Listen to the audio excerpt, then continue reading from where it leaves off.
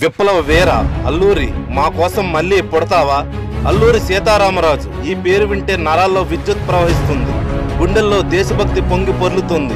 నిప్పులా జ్వలించే కాంక్ష యువతను ఉత్తేజితం చేస్తుంటుంది. దేశం కోసం చనిపోవడానికి సిద్ధమవడానికి అల్లూరి పేరు ఒక ఉత్ప్రేరకంగా పనిచేస్తుంది. చివరి ఊపిరి పీల్చే వరకు పీడిత ప్రజల కోసం ఉద్యమించాడు.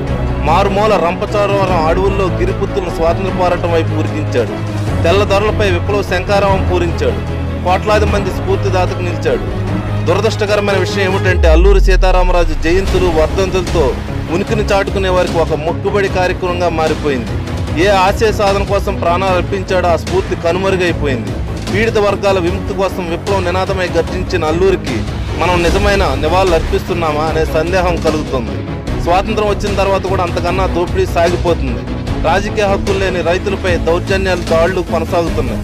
ప్రశ్నించే గొంతుకులను ముగించేందుకు వెంటాడి వేటాడుతున్నారు. నువ్వు కోరుకున్న స్వాతంత్రం ఇదేనా?